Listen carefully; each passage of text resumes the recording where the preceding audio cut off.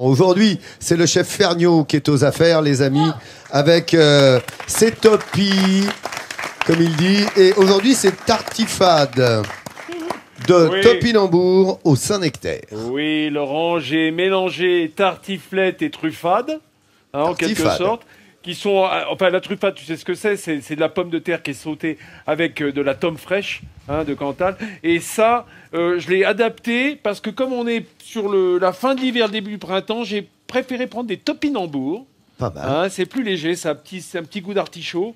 Des girolles hein, qu'on va trouver bientôt euh, pour y apporter un petit peu de goût. Bon, quelques lardons, Ah bah ça, de ça m'étonne pas de toi, Marc. hein, mais bon. Bah, des lardons, c'est important. Ah, hein. C'est important, ça apporte du goût. Et puis, on va gratiner ça avec du Saint-Nectaire. Regarde quel est beau, Saint-Nectaire. Et puis, tout à l'heure, dans l'émission, je vous montrerai les 5 AOP, AOP. d'Auvergne.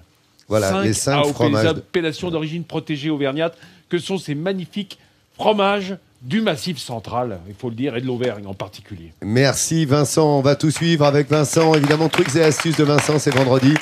C'est lui le grand chef du jour. Monsieur, euh, aujourd'hui le grand chef, c'est Vincent Ferniaud qui nous propose une euh, tartigno. Euh, ça va être ça, hein, la, la Tartifade. Ferniaud. Tartifade.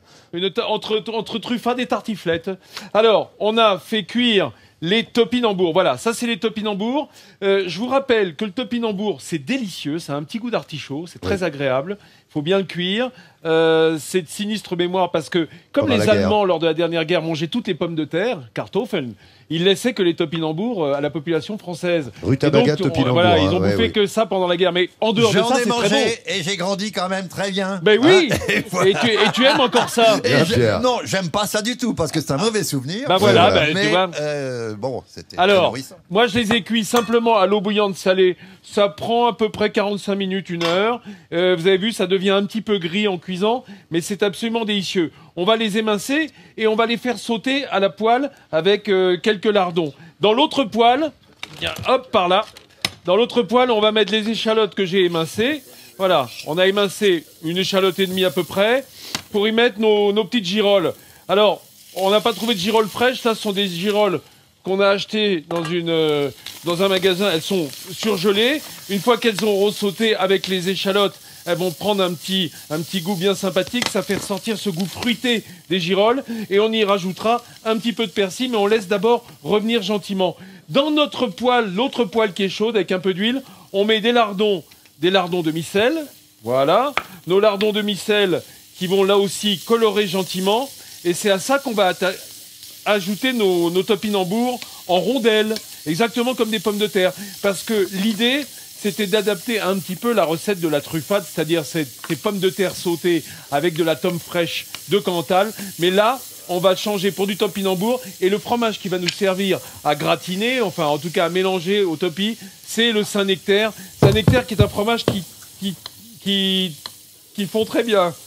Tout va bien, Laurent Comme mon micro qui descend tout Oui, ça. ça, ça va Non, tu sais quoi, je voulais absolument le micro parce que je me disais, à quel moment il va me dire topi hein Euh, Les rutas et les topis Eh ben oui, j'aime bien sont le tes mot. amis. Bah, souvent en cuisine, on dit les topis pour les topinambours. Alors je vous le disais, pourquoi est-ce qu'il faut bien... Vous avez vu, ça ressemble un peu à des rondelles de pommes de terre, Oui. avec ce petit goût d'artichaut en plus. Pourquoi est-ce qu'on dit qu'il faut bien les cuire? D'abord parce que c'est plus résistant que la pomme de terre, c'est beaucoup moins farineux. D'ailleurs, euh, il y a moins de, moins de sucre à l'intérieur, hein, plus de protéines. Donc euh, je dirais, du point de vue régime, c'est plus intéressant. Et aussi parce que ça a un côté un petit peu carminatif. C'est-à-dire Pardon, que... expliquez-nous, Oui, chef. ça peut donner quelques flatulences si on le cuit pas assez. Bien. Donc on fait attention à ça tout de même hein, au moment de les faire cuire. Voilà, Vincent on a nos deux poêles, les lardons, le topi, les girolles avec les échalotes. Vincent On est parti. Est-ce que c'est toi qui l'as inventé cette recette? Ou c'est un petit peu oui, typique Oui, oui, c'est oui, une oui. Ah création personnelle. Waouh Oui. Oui, Bah, Je suis euh, impressionnée. sur base auvergnate. Attends, t'as pas goûté encore, hein Ouais. Non, Non, mais... je suis sûr que c'est bon. Ça fleure bon. Ça va être. Ah oui, ça fleur blanc. Merci bon, Hélène. Toi tu es gentille, tu es une amie. Ouais. Euh, euh, euh, Dis-moi, Vincent, ce matin, tu avais promis tout à l'heure en début d'émission de nous présenter les 5 AOP. J'ai fait ça? Oui, tu l'as fait. Tu Bon, as osé. alors. Les 5 AOP Auvergnat et vous allez tout comprendre de ces fromages avec Maître Vincent. Regardez. Moi, pour moi, c'est comme si on me proposait un canapé dans le salon, voyez. J'ai envie de m'installer dans ces 5 AOP. Alors là, vous avez le salaire. Regardez, il y a le S dessus dans la croûte. Le salaire, c'est en fait un Cantal d'été qui est fait sur les monts du Cantal avec euh, les vaches salers qui ont un lait particulièrement riche qui se, qui se parfume avec la, la flore des, des prairies d'altitude.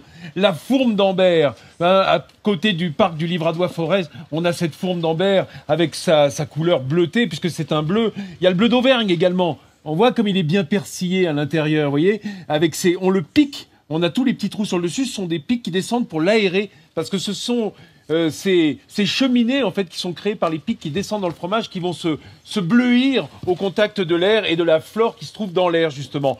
Le Cantal, bah, le Cantal c'est la grande, grande AOP du Cantal évidemment, ça c'est un Cantal entre deux, c'est-à-dire qu'il est ni jeune ni vieux, il est exactement entre deux. Et le Saint-Nectaire, avec sa croûte, son petit poil de chat là, cette euh, moisissure grise qui va... Hein, c'est le poil de chat. Merci. Le poil de chat. Euh, qui va lui donner ce, ce goût, ce goût de cave absolument délicieux à l'affinage. Et c'est ce fromage dont je vais me servir dans un instant euh, pour faire justement cette euh, tartifade ou voilà enfin c'est un mélange de, de truffade et de tartiflette. Tu me donnes envie avec tes fromages là. Ah bah, tu sais c'est quand même l'excellence. Ce pays est quand même incroyable. Quand tu vois les salaisons hein. et le fromage, mais il n'y a pas mieux au monde. Globalement. Ben hein, globalement. Soyons clairs. C'est quand même la richesse de l'Auvergne ce plateau de fromage. Et alors regardez euh, Alicia, si tu veux bien prendre la caméra, merci. On a fait sauter comme des pommes de terre avec les lardons nos, nos rondelles de topi. On y ajoute les girolles avec une petite persillade d'échalotes. Est-ce que les topinambours, elles grillent un petit peu comme les pommes de terre Bah oui, regarde, tu vois est-ce qu'il y a une, astuce pour que ça soit grillé? Parce que moi j'ai du mal à ce que ce soit grillé. non, mais sinon ça fait une espèce de bouillie. Non, non, mais attends. Le tu sais que je suis pas la seule à me poser la question. Ah bah, hein. C'est lui chef aujourd'hui, fais gaffe de la pâte d'état. S'il dit, c'est parole d'évangile c'est contre le fond de la poêle que ça va se colorer. Mm. Alors après, il faut faire sauter. Si tu le mets à la, cuillère, tu risques de les écraser. Parce qu'il y a des gens qui disent qu'il faut saler avant ou après. Il faut ce petit mouvement. Il faut ce petit mouvement. Voilà, qui permet de faire revenir les rondelles du dessous sur le dessus et donc de s'inverser. Parce que si tu y mets une cuillère, évidemment, tu écrases un petit eh, poil. Dis donc, faut s'exercer parce que ce mouvement, comme tu dis, bah ça fait un peu de musculation, en même temps, c'est pas mal. Dans, cette, dans ce mélange donc de girolles, lardons, topi, persillade, on va mettre un peu de crème. Cette crème, en fait, c'est elle qui va euh, aider à fondre le Saint-Nectaire tout à l'heure à l'intérieur, puisqu'on va la cuire comme une tartiflette en mettant simplement le, Saint-Nectaire sur le dessus. Il va descendre. Alors, je vais m'en occuper tout de suite du Saint-Nectaire. Viens donc par là, cocotte. Regarde comment ça se passe. Alors, cocotte. regarde, on a notre Saint-Nectaire. Alors, on, on va le gratter un petit peu.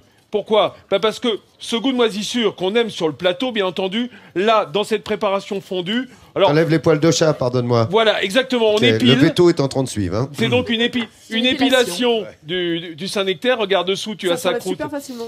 Oui, ça, oui, ça vient bien. Hein. Euh, C'est pas nécessaire si vous êtes habitué à ce goût, mais euh, c'est pas non plus utile d'avoir trop de moisissure à l'intérieur du fromage une fois qu'il est fondu. Ensuite, on va faire des belles lamelles. Alors, s'il est suffisamment froid, le problème c'est que on n'est pas du bon côté parce que moi je suis. Ben non, ça va être difficile. Non, non, euh, laisse tomber. L'idée c'est de faire des lamelles exactement comme on ferait avec une tartiflette à reblochon. Ce sont ces lamelles qui vont venir sur le dessus du plat et qui, quand le plat va gratiner dans une minute, vont descendre. Alors, je vais simplement. Voilà, là c'est prêt. Voilà, on a notre euh, notre préparation. Ça, j'ai l'impression que oui, ça a plutôt une bonne tête. Je cherche ma cuillère pour étaler. Voilà, dans notre plat, délicatement, pour pas briser les rondelles, ça, ça ferait de la peine à Nathalie. Hein, ça, le brisage de rondelles de oh pas les rondelles. Le brisage de rondelles de oh, malheureux, fais pas ça. Non, certainement pas. Voilà, on a bien réparti. Et dessus, eh ben, on va habiller avec nos, nos belles lamelles de Saint-Nectaire qui vont effectivement descendre. Après, il faudra une, un grill bien chaud et ça va rentrer à l'intérieur, se mélanger. Ça sera onctueux dans quelques minutes. Merci. Qui combien... qui eh, Dis-moi, combien de temps au grill? Raconte. Oh bah, il faut que ça fonde, à mon avis, il y en a pour euh, bonnes, entre 5 et 10 minutes, hein, le temps que ça, gratine et que ça On garde, on surveille. Ok, merci beaucoup. Euh, Vincent, de cette belle préparation euh, du matin qui est sa tartifade. Hein. Vincent, tu voulais dire Moi aussi, j'ai été très touché cette semaine. Toi aussi, hein bah, par la, gastronomie locale. Qui m'a touché pendant toute la semaine parce que elle me tirait la manche pour essayer de goûter les trucs. Mais bon, là, le, le gratin, on a pu le sauver. Bougez pas. Attends, bouge pas. Alors, fais voir ton gratin. Notre tartiflade. Ah. Allez, on va y goûter. Oh là là, c'est beau. Oh, c'est magnifique. Ah, Regardez. hein, le, Saint-Nectaire qui a gratiné. Ah oui. Hein, il a fondu, il est descendu dans le plat Alors, j'ai Marie-Christelle avec moi qui est volontaire. Viens Marie-Christelle, approche-toi chérie. Allez, elle va goûter. Euh, Il y a Raymond qui est là également. Euh, on va goûter ça. Allez, elle goûte. Elle m'a dit qu'elle avait jamais goûté de topinambour de sa vie. Marie-Christelle, c'est Allez, vrai. elle va y aller. Regarde, Les amis, rendez-vous merveilleux. lundi évidemment. Et puis, euh, bien sûr, merci ici à l'accueil qui nous a été réservé à la Tour d'Auvergne. Bravo à vous. Voilà, et on goûte. Allons-y. Merci à vous de nous avoir suivis tout au long de cette semaine. Vous savez quoi? Il est bientôt midi en France.